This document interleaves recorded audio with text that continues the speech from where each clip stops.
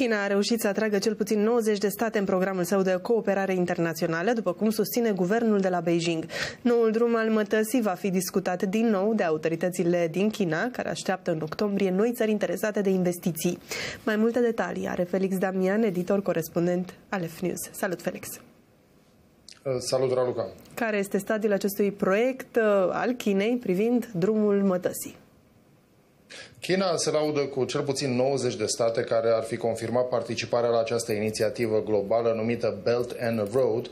Proiectul vrea să recreeze vechiul drum al mătăsii și cea de-a treia ediție a Forumului pentru Cooperare Internațională sub acest nume, Belt and Road Forum uh, for International Cooperation, va avea loc la Beijing în octombrie, unde sunt așteptați desigur mai mulți lideri străini apropiați de regimul uh, din China.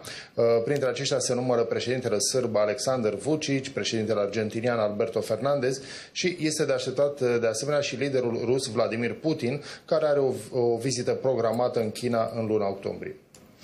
Felix, ce înseamnă de fapt acest drum al mătăsii pentru cei din Occident, pentru noi? Sunt multe voci critice cu privire la acest proiect uh, internațional uh, care văd în ambițioasa inițiativă Belt and Road un instrument prin care China, președintelui Xi Jinping, uh, își poate extinde influența geopolitică și economică.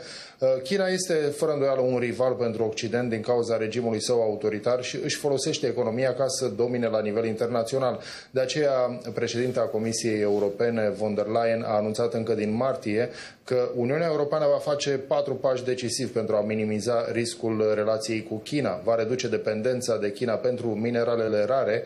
Uh, Uniunea Europeană își va intensifica de asemenea instrumentele comerciale, cum ar fi controlul la export și va monitoriza investițiile în străinătate pentru a-și proteja securitatea economică. Și în al patrulea rând, Uniunea Europeană va căuta parteneriate cu alte state, cum este SUA, care pot oferi, desigur, o contrapondere reală Chinei. În același timp, uh, nivelul total al investițiilor chineze către în Uniunea Europeană și în Regatul Unit al Marii Britanii sunt în scădere.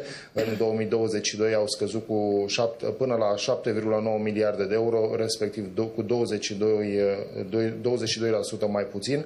Iar ultima discuție din Uniunea Europeană este posibilitatea de a interzice companiilor să producă tehnologii sensibile în China. Și nu în ultimul rând, Italia, singurul stat G7 care participă la acest program Belt and Road, consideră că nu a beneficiat suficient de pe urma acordului și ar putea ieși oficial până în decembrie din această colaborare.